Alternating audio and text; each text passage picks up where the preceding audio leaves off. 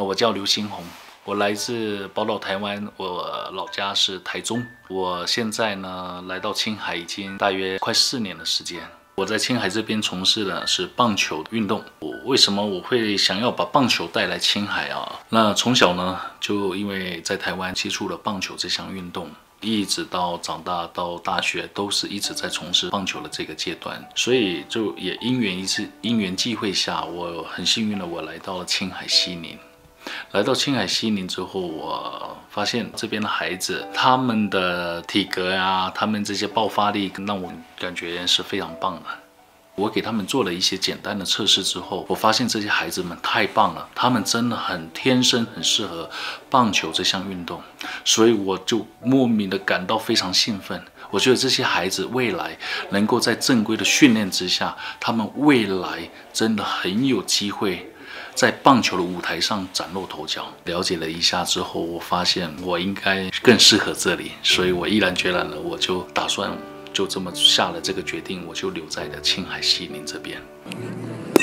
哇。哦，这个带哦。因为棒球它这项运动它很特别的地方就是，它需要结合各种的一种运动，比如说它需要瞬间的爆发力，以及它的速度。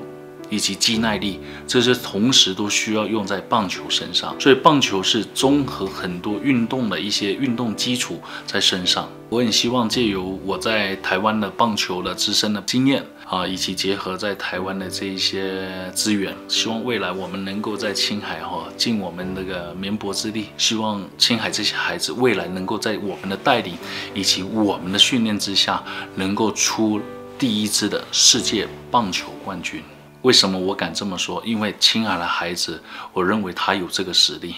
觉得有一天可以成为冠军少棒队这一块上面，是我现在我人生最大最大的一块梦想。我在台湾哦，很多的亲朋好友他们是不理解我为什么要跑这么远，跑到青藏高原来教棒球。坦白说，这当然我觉得没有一个对与错的问题。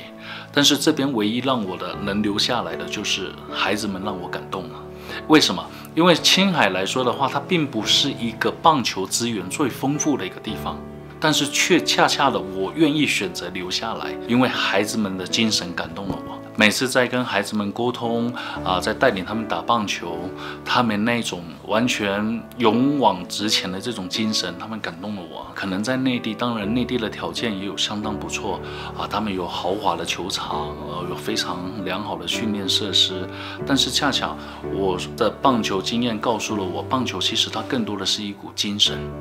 就好像好比在台湾，我看到了以前台湾的红叶少棒。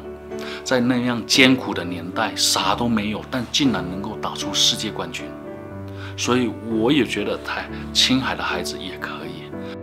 当然，我们的宗旨是希望带着孩子快乐打棒球，所以在快乐打棒球的前提之下，我们更多的是鼓励孩子们在运动学习棒球这件事情上有更多的快乐。那希望在很快的未来里，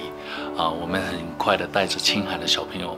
然后青海的孩子们到台湾去做交流，让青海的孩子能看看台湾小朋友在训练的一些实际的一个情况，让孩子们体验。当然，更多的也是希望台湾的孩子未来把他们邀请到青海来，让他们来青海这边看看青海这边独特的地貌环境，以及来跟这边青海的孩子来打几场非常棒的友谊赛。来进行交流，让这样的一个棒球精神啊，能够一代一代的停留在孩子的真正的内心深处啊，希望能够一代一代的传承下去，让孩子啊能够真正的理解到什么是棒球精神，什么是运动精神。